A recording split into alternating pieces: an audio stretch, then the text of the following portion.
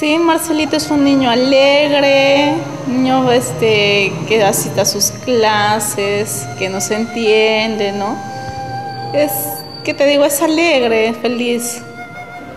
Yo siempre estaba rodeada de amigos adventistas, pero en realidad no, no, he ido a su iglesia. Y como no, a veces Dios hace cosas ¿no? para, para uno acudir quizás. La vecinita nos invitaba a la escuela cristiana. Vamos a la escuela, que Marcelito se vaya a la escuela cristiana, que aprenden muchas cosas, aprenden a cantar, a jugar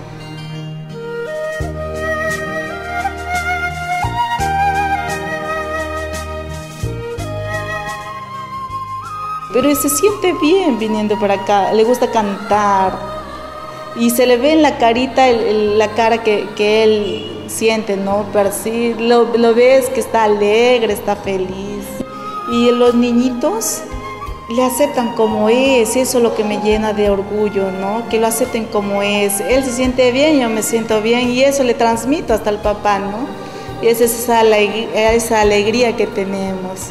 Sí, el día de la clausura estábamos emocionados, incluso hasta el, rabino, el pastorcito de la iglesia, nos, me invitó personalmente a la clausura, y, pero no estaba el papá por motivos de trabajo, y, pero yo sé que el papá hubiera asistido ese día, pero no, no vino, ¿no?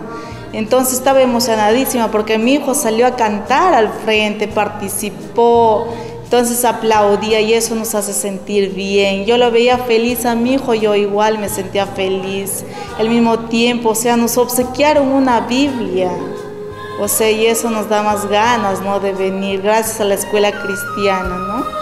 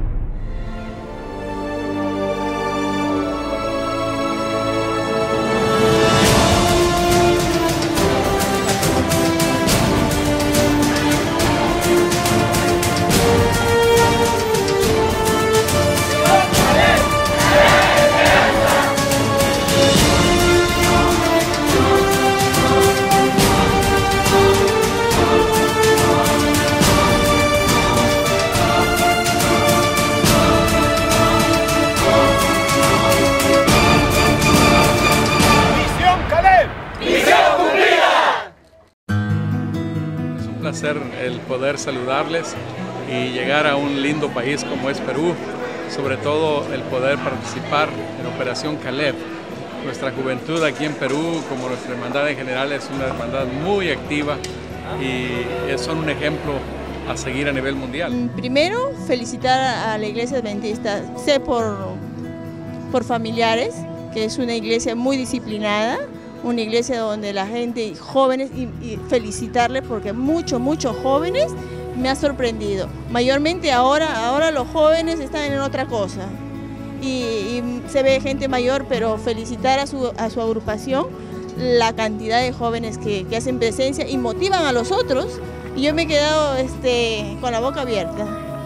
De verdad que desde que salió Misión Calais eh, es un programa muy bonito. Como joven adventista me siento muy orgullosa de que hayan estos, estos proyectos y he venido con todas las ganas de trabajar.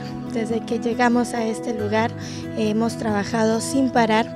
Tenemos toda una semana llena de tareas. La hemos estado realizando con, con, bastante, con bastante orgullo. ¿no?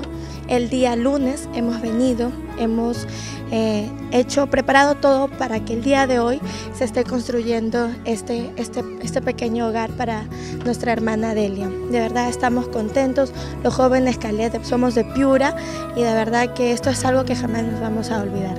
Mira, yo ya participé de muchos encuentros con los jóvenes y algunos con esa misma cantidad de personas, pero nunca he participado en un encuentro con tantos jóvenes todos comprometidos com a predicação do Evangelho, com la grande esperança a pessoas. Como líder da igreja, estou orgulhoso do trabalho que vocês fizeram, vocês marcaram vidas, vocês salvaram vidas Estou seguro que o Senhor vai recompensá-los, aún aqui na terra, e mais que isso, na eternidade.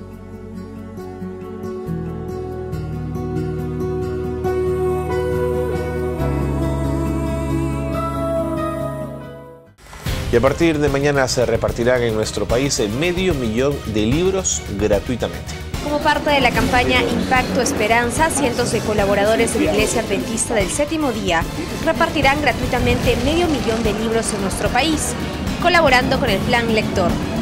Si usted ve a algún amigo, alguna persona con este logo y con este libro, pues ábrele las puertas, ábrele el corazón, reciba este libro que estoy seguro que va a ser una gran bendición para usted y para su familia. Ya lo sabe, este sábado 24 de marzo es muy probable que usted también reciba gratuitamente un libro. Carla Tello, Canal N.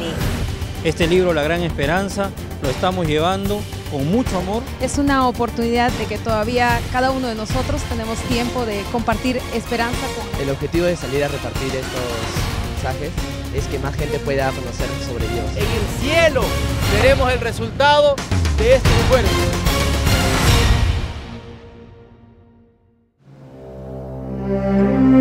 Amado Padre Celestial, estamos aquí, Señor, de rodillas ante tu presencia para darte gracias porque nos haces parte de este gran movimiento de evangelización a través de las publicaciones.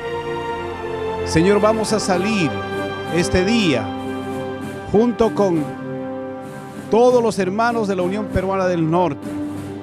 Vamos a distribuir, Señor, un millón de estos libros para que impacten en el corazón de las personas. Oramos, Señor, para que tu Santo Espíritu trabaje en los corazones de las personas que han de recibir esta publicación que tú has inspirado a tu siervo. Te suplicamos, Señor, que las personas tengan deseos, tengan sensibilidad para buscar tu verdad. Y Señor también, danos gracia delante de los ojos de las personas con quienes vamos a entrar en contacto, con quienes tus hijos de todo el norte del país van también a conectarse. Unión Peruana del Norte, Impacto Esperanza. Un día antes de ir a mi trabajo, pues me levanté y en la mesa de mi sala vi un libro que decía La Gran Esperanza. Eh, no sé ni cómo ni, ni, dónde apareció porque pregunté a, a, mi familia, pregunté a mis hermanos, a mi mamá, pregunté cómo, cómo había llegado el libro a mi casa.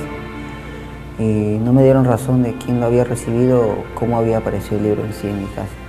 Me lo llevé en el camino al trabajo, lo leí, me gustó y quise saber de, de dónde venía el libro. Dentro de ese libro encontré una invitación fui, pregunté si el libro provenía de la iglesia adventista y me dijeron que sí, hermano, sí, acá es, de acá proviene el libro. Me invitaron para ir al día siguiente pues a, la iglesia central. En cuanto yo estuve en el templo, cuando escuché el llamado del pastor, bueno, sin duda sin dudar fui, me sentí preparado en ese momento. No pasó ni cinco días de haber leído el libro, en la cual yo ya sentí fuertemente el llamado de Cristo. Sentí que tocó mi corazón, me bauticé. Después de haber salido del bautizo me sentí como una persona renovada. Gracias a este libro, que se llama La Gran Esperanza, ahora estoy bajo los pies de Cristo.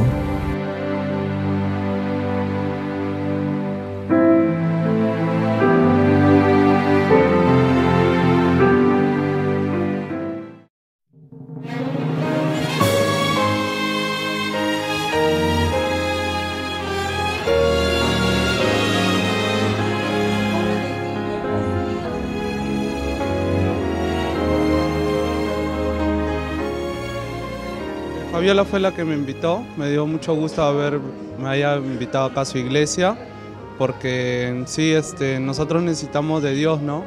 Todos nosotros, como, como dijo que ella me conocía en un centro de rehabilitación, y siempre necesitamos quien nos guíe, y quién más, este, Dios, ¿no? Porque Él es el que nos da la esperanza y, y la, la, la, esperanza de seguir adelante y, y poder con, con esta con este duro camino que es la, la rehabilitación.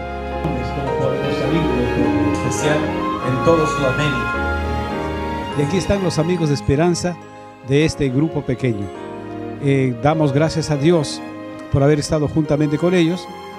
Y así como este grupo pequeño, Shalom, eh, también miles de grupos pequeños en la misión centro-oeste del Perú ha llevado a cabo tanto Hogares de Esperanza como también Amigos de Esperanza. Y en el Perú, por supuesto, de igual manera. Eh, gracias a Dios, porque la iglesia siempre está viva, actuando, participando para cumplir con la voluntad de Dios y terminar la predicación del Evangelio. Que Dios siga bendiciendo a su iglesia.